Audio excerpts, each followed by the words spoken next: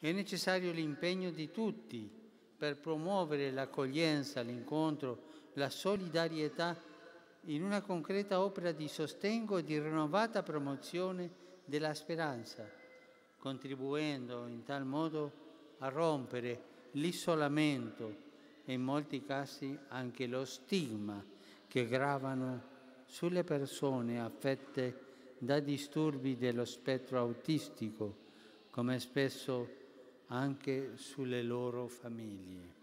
Papa Francesco ha abbracciato con affetto i partecipanti alla ventinovesima conferenza internazionale del Pontificio Consiglio per gli operatori sanitari sul tema La persona con disturbi dello spettro autistico, animare la speranza.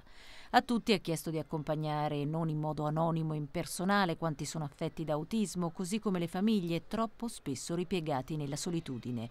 Auspicando una rete di sostegno e di servizi sempre più efficace, il pontefice ha poi incoraggiato l'impegnativo lavoro degli studiosi e dei ricercatori affinché si scoprano al più presto terapie e strumenti di sostegno e di aiuto per curare e soprattutto per prevenire l'insorgere di questi disturbi, salvaguardando sempre la dignità di cui è rivestita ogni persona. Alla fine dell'udienza, Papa Bergoglio ha chiesto di pregare per il cardinale Fiorenzo Angelini, spentosi nella notte a Roma. Il porporato 98enne era presidente emerito del Pontificio Consiglio per gli operatori sanitari.